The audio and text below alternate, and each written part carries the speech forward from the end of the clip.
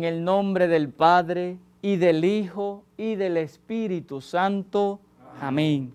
La gracia y la paz de parte de Dios nuestro Padre y de Jesucristo el Señor esté con todos ustedes. Y con tu espíritu. Nos alegramos, mis queridos hermanos, hermanas, de que el Señor nos permita celebrar esta Eucaristía, poder venir a este encuentro con Él.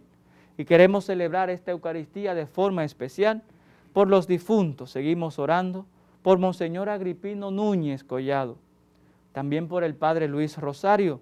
Oramos también por Francisca Moreno, por Darlin Rodríguez, Ángela García, Rafael Alejandro Pérez, Gregorio Vázquez, Ros- Roselia Saldaña, Pedro Woz, Policarpio Montero, Ana Ogando, Rafaelito Agramonte, Luis de Jesús, Ciprián Díaz, Luis Manuel Ortiz y de forma especial por Luis Manuel Moreno, quien está de fiesta de cumpleaños y está aquí entre nosotros. Con él nos alegramos y a él pues lo ponemos de forma especial en esta Eucaristía en manos de Dios.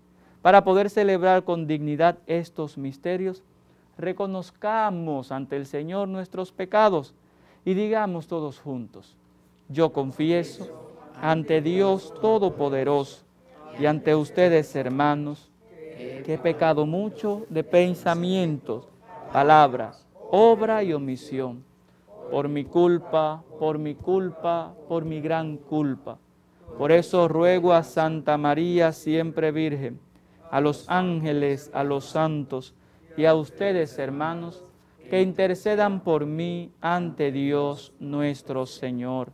Dios Todopoderoso, tenga misericordia de nosotros, que Él perdone nuestros pecados y nos lleve a la vida eterna. Amén. Señor, Señor, Señor,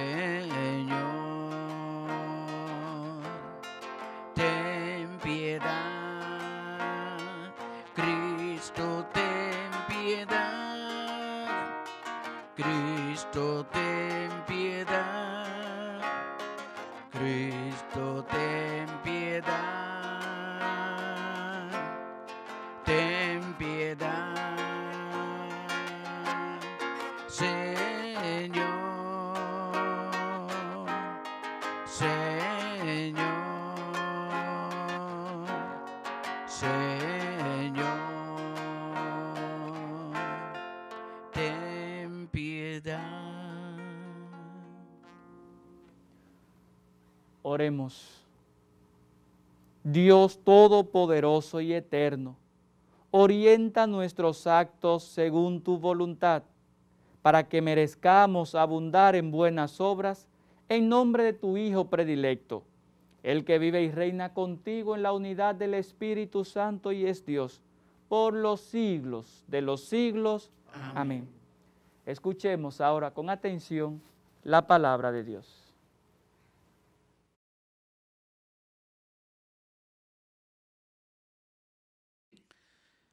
Lectura del segundo libro de Samuel. En aquellos días el Señor envió a Natán a ver a David y llegado a su presencia le dijo, había dos hombres en una ciudad, un rico y el otro pobre. El rico tenía muchas ovejas y vacas.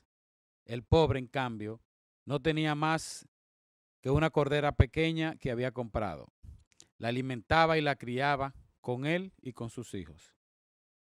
Ella comía de su pan, bebía de su copa y reposaba de su regazo.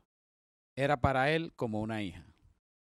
Llegó un peregrino a casa del rico y no quiso coger una de sus ovejas o de sus vacas y preparar el banquete para el hombre que había llegado a su casa, sino que cogió la cordera del pobre y la aderezó para el hombre que había llegado a su casa. La cólera de David se encendió contra aquel hombre y replicó a Natán, vive el Señor que el hombre que ha hecho tal cosa es reo de muerte. Resarcirá cuatro, cuatro veces la cordera por haber obrado así y por no haber tenido compasión. Entonces Natán dijo a David, tú eres ese hombre, pues bien, la espada no se apartará de tu casa jamás, por haberme despreciado y haber tomado como esposa a la mujer de Urías, elitita. Así dice el Señor, yo voy a traer la desgracia sobre ti, y desde su propia casa cogeré a tus mujeres ante tus ojos y las entregaré a otro, que se acostará con ellas a la luz misma del sol. Tú has obrado a escondidas. Yo, en cambio, haré esto a la vista de todo Israel y a la luz del sol. David respondió a Natán, he pecado contra el Señor, y Natán le dijo, también el Señor ha perdonado tu pecado. No morirás. Ahora bien, por haber despreciado al Señor, con esa acción, el hijo que te va a nacer morirá sin remedio. Natán se fue a su casa. El Señor hirió al niño que la mujer de Urias había dado a David y cayó enfermo. David oró con insistencia a Dios por el niño, ayunaba y pasaba las noches acostado en tierra. Los ancianos de su casa se acercaron a él e intentaban obligarlo a que se levantara del suelo pero no accedió, ni quiso tomar con ellos alimento alguno. Palabra de Dios. Te alabamos, Señor. Oh Dios, crea en mí un corazón puro. Oh Dios, crea en mí un corazón puro. Oh Dios, crea en mí un corazón puro. Renuévame por dentro con espíritu firme. No me arrojes lejos de tu rostro, no me quites tu santo espíritu. Oh Dios, crea en mí un corazón puro. Devuélveme la alegría de tu salvación. Afiánzame con espíritu generoso. Enseñaré a los malvados tus caminos. Los pecadores volverán a ti. Oh Dios, crea en mí un corazón puro. Líbrame de la sangre, oh Dios, Dios Salvador mío, y cantará mi lengua tu justicia. Señor, me abrirás los labios y mi boca proclamará tu alabanza. Oh Dios, crea en mí un corazón puro. Aleluya. Aleluya. Tanto amó Dios al mundo que entregó a su Hijo unigénito. Todo el que cree en Él tiene vida eterna.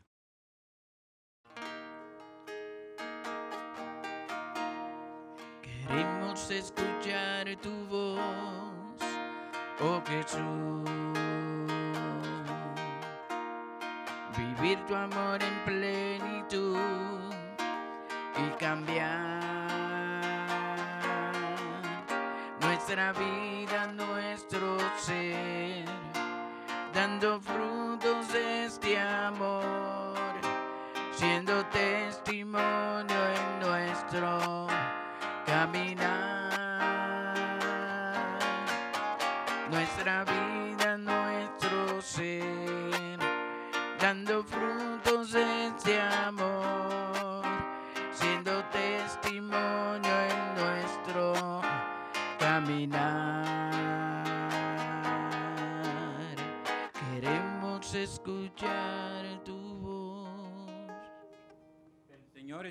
ustedes. y con tu espíritu. Proclamación del Santo Evangelio según San Marcos. Gloria a ti, Señor.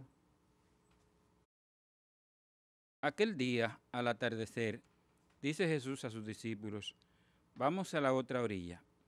Dejando a la gente, se le llevaron en barca, como estaba. Otras barcas lo acompañaban. Se levantó una fuerte tempestad y las olas rompían contra la barca hasta casi llenarla de agua. Él estaba en la popa, dormido sobre un cabezal. Lo despertaron diciéndole, Maestro, ¿no te importa que, no, que perezcamos? Se puso en pie, increpó al viento y, al, y dijo al mar, Silencio, enmudece. El viento cesó y vino una gran calma. Él les dijo, ¿por qué tienen miedo? ¿Aún no tienen fe? Se llenaron, se llenaron de miedo y se decían unos a otros, ¿pero quién es este? Hasta el viento y el mar lo obedecen. Palabra del Señor. Gloria a ti, Señor Jesús. Por la proclamación de este santo evangelio, se nos perdonen nuestros pecados. Amén. Nos acomodamos y gracias a Dios por esta palabra que nos regala. Fíjense, hay una hermosa pregunta aquí que deja mucho que, que pensar en el Evangelio. Señor, ¿no te importa que perezcamos? Hay mucha gente que cuestiona a Dios sobre esto. Mucha gente que cuestiona a Dios sobre esto. Cuando las cosas no le salen bien, Señor, te olvidaste de mí. Señor, ¿por qué tú no me pones asunto? Cuando las cosas no salen como nosotros queremos. Señor, pero es que yo no soy tu hijo. Y escuchar esta liturgia de la palabra es todo una respuesta a esta pregunta. Señor, ¿no te importa que perezcamos? ¿Usted quiere saber si a Dios le, importa o no que nosotros perezcamos? Pues mírenlo como lo hizo con David. Como lo hizo, o sea, David se encerró en un pecado que inclusive él estaba, podemos decir, cegado del pecado que había cometido. David se ve la mujer de Uría, de esta mujer, Jezabel, se llamaba, una mujer, por como la, como la describe el libro de, Samuel, pues una mujer hermosa. ¿eh? Y David pues se, se, queda admirado con tanta belleza y resulta porque la mujer era casada, pero él era el rey. O sea que tenía posibilidad, él la mandó llamar y pues estuvo con ella. Y no obstante a eso, pues eh, ella queda embarazada y bueno, acción trae reacción. Todo hecho trae consecuencias. ¿eh? Eso tenemos que saberlo. Y nuestro pecado siempre va a traer consecuencias espirituales, obviamente, pues como dice el Señor a, a, David, tú me has rechazado con esto que has hecho. O sea, ¿por qué me has rechazado? Cuando nosotros pecamos, estamos rechazando a Dios. ¿eh? Es tan fácil como eso. Es una de dos, o Dios o pecado. Si elegimos el pecado, rechazamos a Dios. Y cuando elegimos a Dios, entonces, pues rechazamos el pecado. Esas dos no caminan juntas. Eso es como el agua y el aceite. Eso no se mezcla. Eso no se liga. Pero entonces, ante esta realidad, David ha rechazado a Dios. Pero Dios no se queda de manos atadas, porque a Dios sí le preocupa que nosotros perezcamos. Y le manda al profeta Natán a David.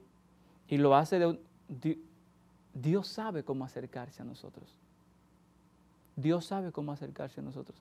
Porque si le reclama directamente a David por lo que hizo, eh, David, porque David está ciego, él no está viendo la consecuencia o lo grave de lo que acaba de hacer. Simplemente él, una mujer que le gustó y como él tenía muchas mujeres, pues era una más. Él no había visto que era la única mujer que tenía el pobre Uría y que, y que no había otra forma con él.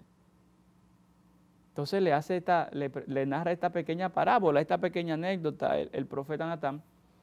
Entonces David se da cuenta, David dice, pero es que esto es increíble, o sea, ¿quién es capaz de hacer tal, tal atrocidad?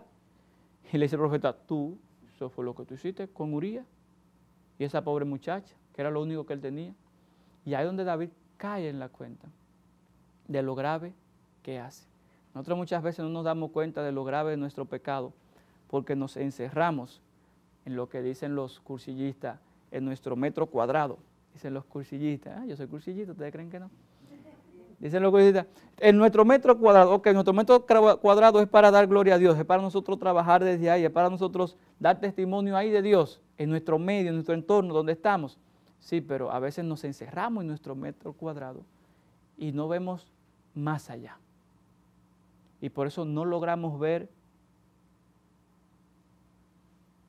los límites o no logramos ver cuánto se expande, no logramos ver cuántas consecuencias puede traer un pecado, por, pequeño que nosotros lo veamos, se extiende y hace daño.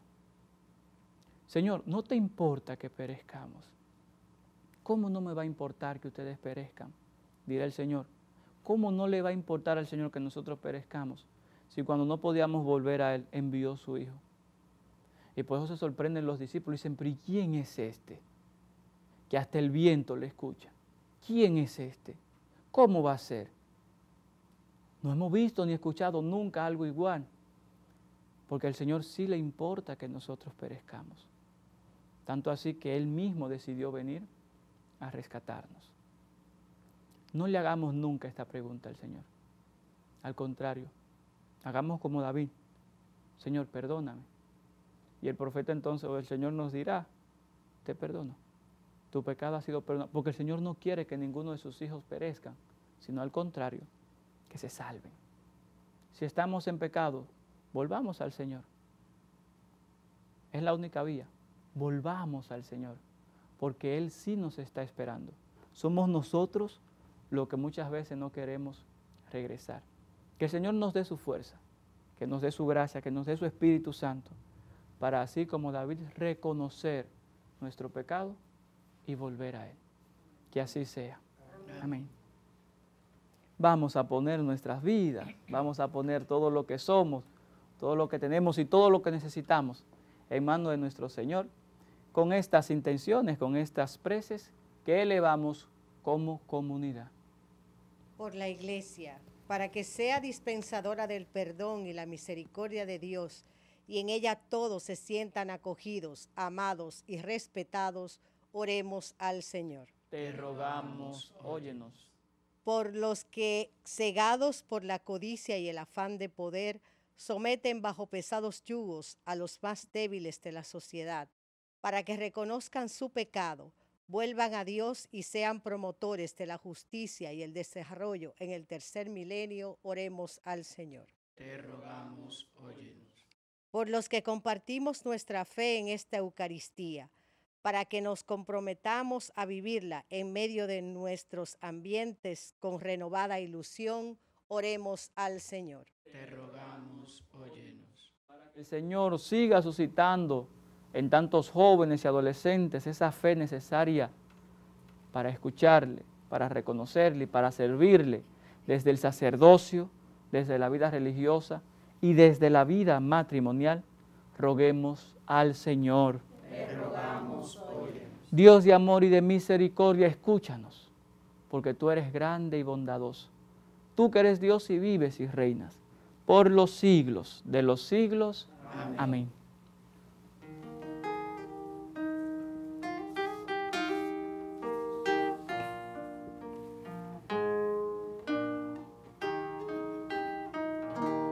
Cuando, Señor, tu voz llega al silencio a mí y mis hermanos me hablan de ti. Sé que a mi lado estás, te sientas junto a mí, acoges mi vida y mi oración. El Señor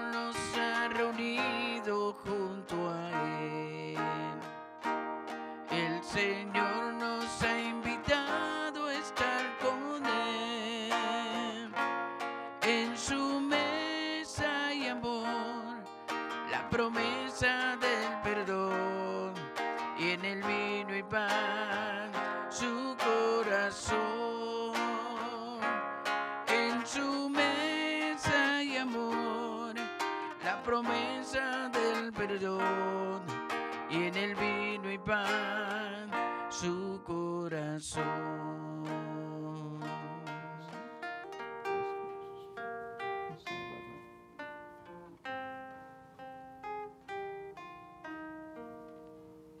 Oren conmigo, mis hermanos, hermanas, para que este sacrificio, que es mío y también de ustedes, sea agradable a nuestro Padre Dios Todopoderoso. El Señor reciba de tus manos este sacrificio alabanza y gloria de su nombre, para nuestro bien y de toda su santa iglesia. Señor, recibe con bondad nuestros dones y al santificarlos, haz que sean para nosotros dones de salvación. Por Jesucristo nuestro Señor. Amén.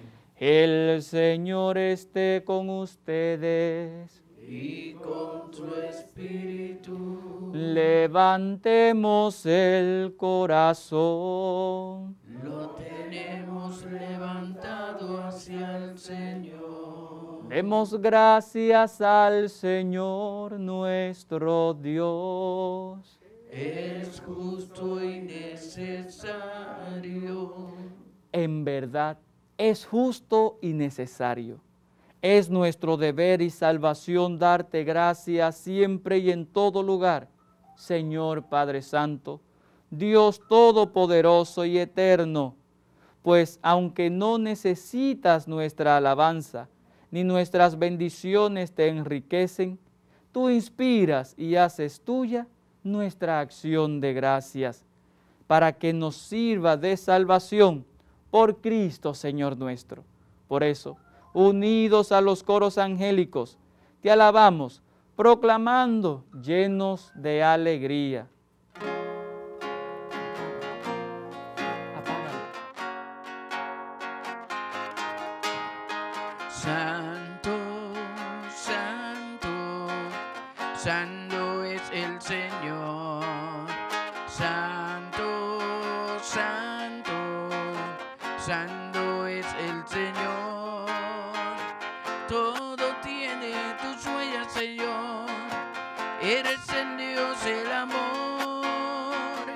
Todo tiene tus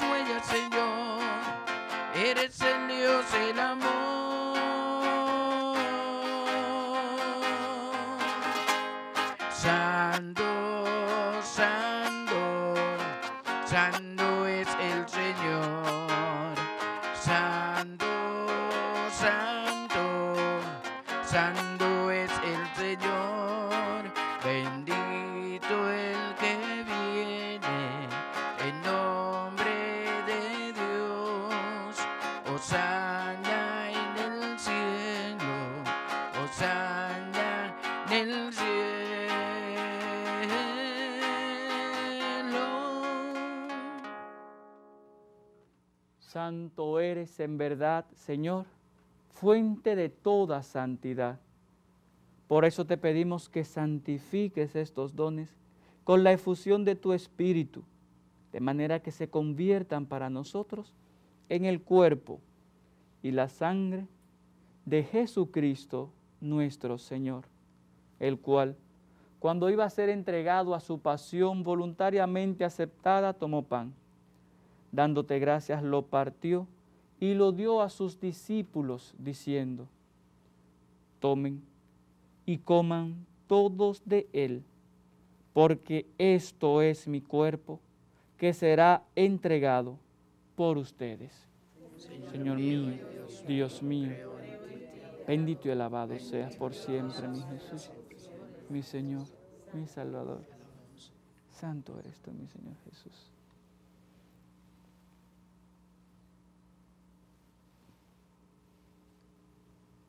Del mismo modo, acabada la cena, tomó el cáliz. Dándote gracias de nuevo, lo pasó a sus discípulos, diciendo, tomen y beban todos de él, porque este es el cáliz de mi sangre, sangre de la alianza nueva y eterna, que será derramada por ustedes y por muchos para el perdón de los pecados. Hagan esto en conmemoración mía. Señor, mío, Dios, mío, bendito y alabado seas por siempre, mi Jesús, mi Señor, mi Salvador. Santo eres tú, mi Señor Jesús.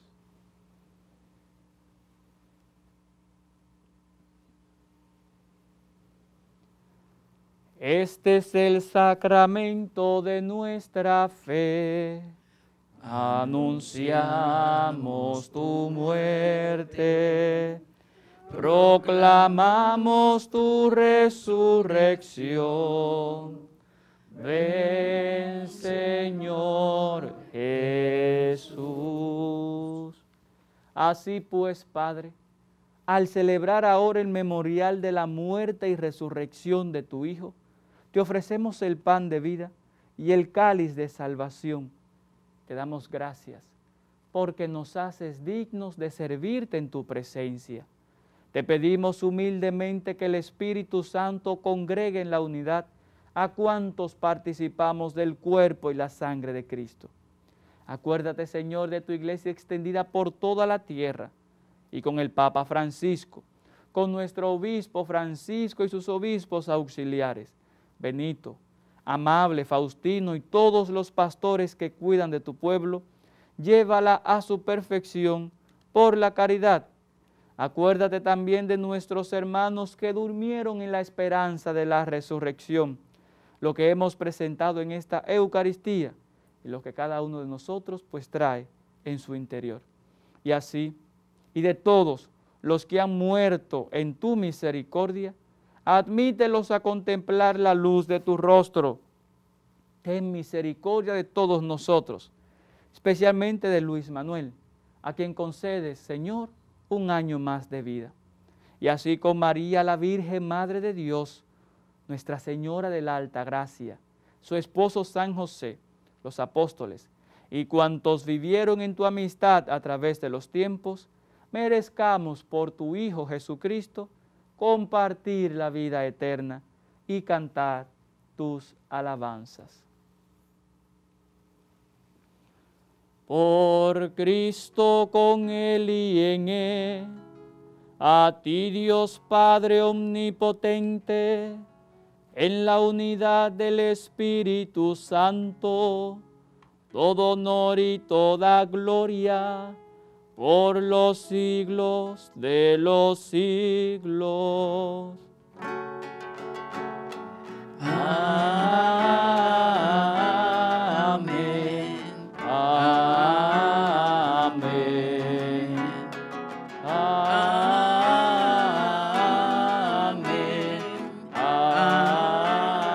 Amén. Amén.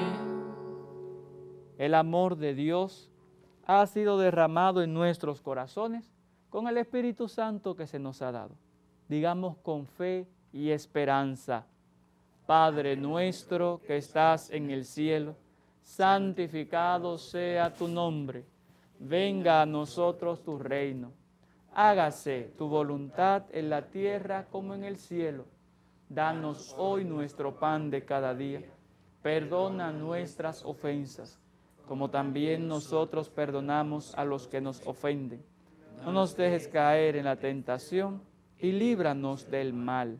Líbranos de todos los males, Señor, y concédenos la paz en nuestros días, para que, ayudados por tu misericordia, vivamos siempre libres de pecado y protegidos de toda perturbación, mientras esperamos la gloriosa venida de nuestro Salvador, Jesucristo. Señor Jesucristo, que dijiste a tus apóstoles, y hoy nos lo dice a nosotros, la paz les dejo, mi paz les doy. No tengas en cuenta nuestros pecados, sino la fe de tu iglesia, y conforme a tu palabra concédele la paz y la unidad, tú que vives y reinas por los siglos de los siglos. Amén. La paz del Señor esté con todos ustedes. Y con tu espíritu. Dense fraternalmente la paz. Cordero de Dios, que quitas el pecado del mundo. Ten piedad de nosotros. Cordero de Dios, que quitas el pecado del mundo. Ten piedad de nosotros. Cordero de Dios, que quitas el pecado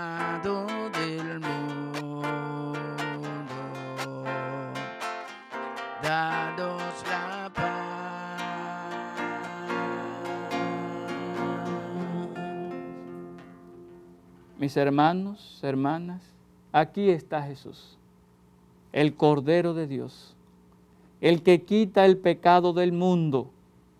Dichosos nosotros invitados a participar en este banquete del Señor. Señor, no soy digno de que entres en mi casa, pero una palabra tuya bastará para sanarme.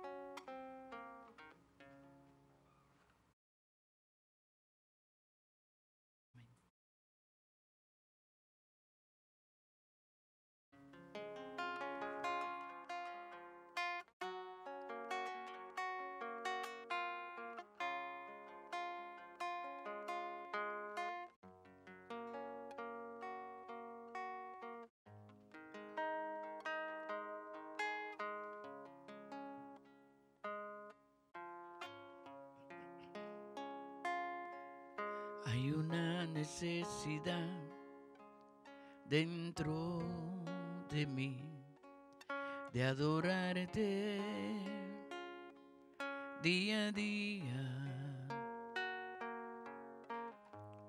de postrarme a tus pies, descansar junto a ti y rendirte mi corazón. Hay una necesidad dentro de mí de adorarte día a día,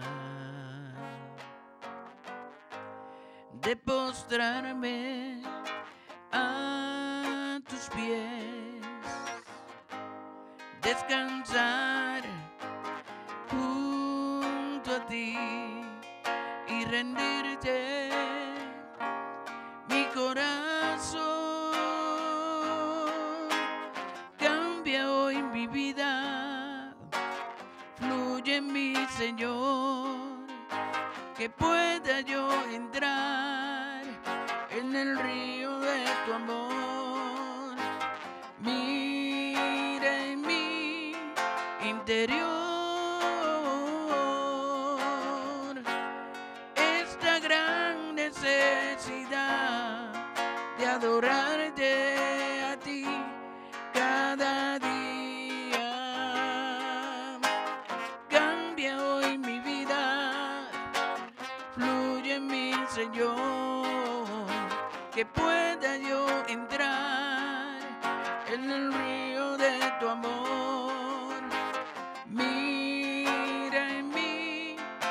interior esta gran necesidad de adorarte a ti cada día más.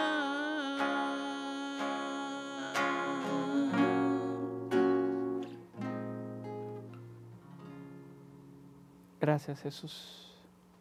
Gracias Señor. Gracias Dios. Oremos. Concédenos, Dios Todopoderoso, que cuantos hemos recibido tu gracia vivificadora, nos gloriemos siempre del don que nos haces. Por Jesucristo nuestro Señor. Amén. Invitamos a Luis Manuel a pasar por aquí para una bendición especial en el día de su cumpleaños. Señor, que le concede hoy año más de vida, pues también le siga dando esa gracia que necesita para acercarse cada vez más a Él. Dios de amor y de misericordia que das la vida y la sostiene. Te damos gracias por este hijo tuyo a quien concedes un año más de vida. Bendícelo. Llénalo de tu amor y de tu misericordia y permítele acercarse cada vez más a ti, así como intentó hacerlo siempre el rey David. Bendícelo Dios, en el nombre del Padre y del Hijo y del Espíritu Santo. Amén. Muchas bendiciones, muchas felicidades. Un aplauso para Luis Manuel. Excelente, excelente. Nosotros queremos seguir poniendo a todos nuestros enfermos, todos nuestros enfermos de todo nuestro país, todos nuestros familiares, en las manos de Jesús. Y para eso pues usamos la vía más rápida, a nuestra Madre María Santísima. Y le decimos a ella, Dios te salve María, llena eres de gracia, el Señor es contigo, bendita tú eres entre todas las mujeres, bendito es el fruto de tu vientre Jesús. Santa María, Madre de Dios, ruega por nosotros pecadores, ahora y en la hora de nuestra muerte. Amén. Nuestra Señora de la Alta Gracia, ruega por nosotros. El Señor esté con ustedes y, con tu y la bendición de Dios Todopoderoso, Padre, Hijo y Espíritu Santo, descienda sobre ustedes, sobre sus familias y les acompañe siempre. Amén. Amados hermanos, nuestra celebración ha terminado. Vayan en la paz del Señor. Demos gracias a Dios. Gracias.